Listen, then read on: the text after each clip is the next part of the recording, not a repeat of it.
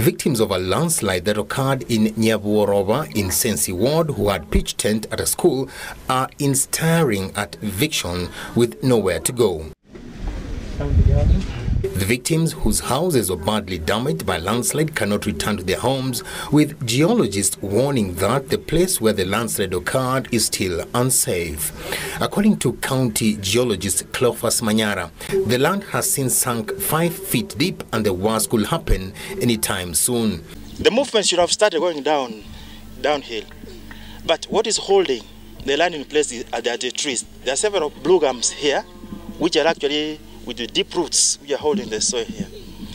So, uh, and the reason why we're having land study here is, is because this area is on a hilly ground.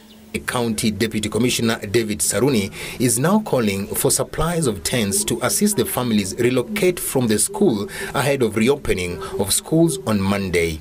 With the schools opening, we still now need to move them from the classrooms and put them in, in some tents somewhere before we establish whether they can go back there or not. But so far, the position the position is they should not go back to to, to, to the village, to this village, because we're still expecting uh, that the fault lines are not yet stable. Sensi Ward MCA Paul Angwenyi has called on the two level of governments to resettle the victims elsewhere as returning to their homes is not an option.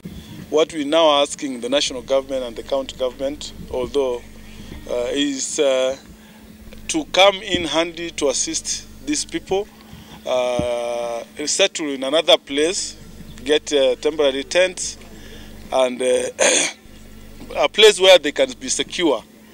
The governor's spouse, Elizabeth Ongwae, donated foodstuffs to the affected families, calling for counseling for the victims to avert incidences of unwanted pregnancy and disease outbreak in the camp. A similar situation is replicated at Etago sub-county, where to close to 300 victims sought shelter at Nyasasa Primary and Secondary School. Reporting for KBC Channel 1, my name is Moses Nwono Nyakundi.